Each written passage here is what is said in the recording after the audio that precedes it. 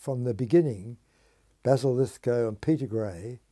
uh, as uh, he succeeded uh, Fred Dainton, uh, all got on very well. And uh, uh, but one of the things was as a result of that, that from day one, I was chairman of the School of Chemistry. So not only did I have to look after the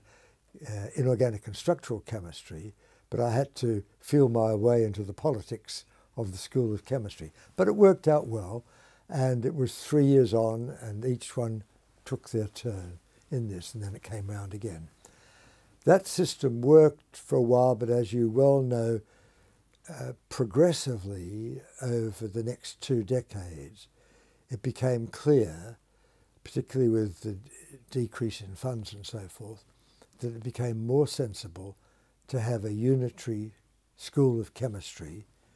albeit perhaps with sections in it, but it wasn't a particularly good model uh, to have three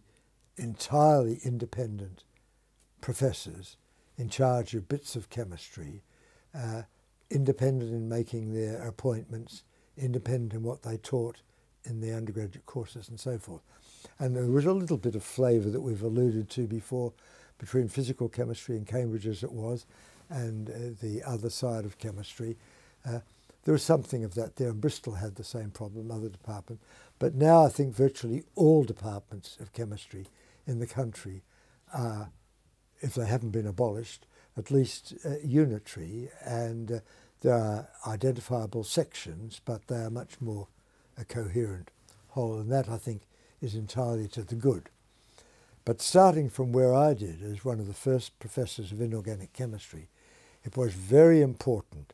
in the 60s and 70s to build up inorganic chemistry as an equal third